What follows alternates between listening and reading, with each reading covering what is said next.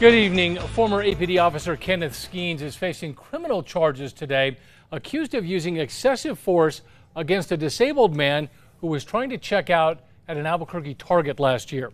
Skeens was fired from the job. The Attorney General's office released the video of that incident this afternoon and spoke with us about his decision to file those charges. Here's News 13's Natalie Wattis. On August 19, 2022, Officer Kenneth Skeens and two other officers approached the man, proceeded to drag him out of the store and handcuff him on the street. Skeens now faces four charges, including battery and false imprisonment.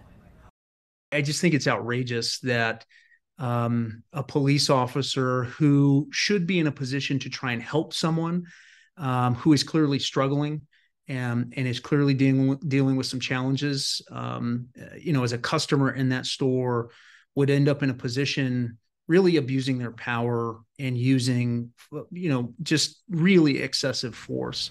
The Attorney General tells me they made the decision to file these charges to send a message to law enforcement and community members that they are holding people accountable.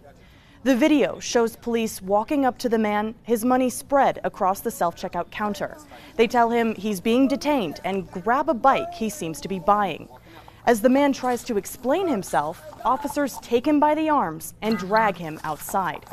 Eventually, the man calls 911, seeming confused about whether or not they're actually police.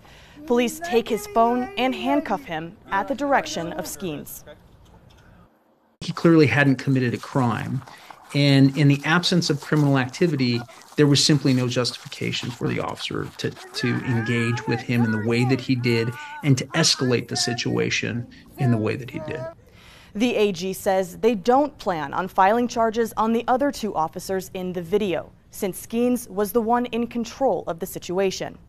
In that same month, Skeens was also involved in a fatal shooting of Keyshawn Thomas at a gas station. Back to you. All right, Natalie, thank you. APD told News 13 back in May that Skeens was fired for an incident unrelated to that shooting. The AG says he expects a preliminary hearing to be set for this case in the next few weeks.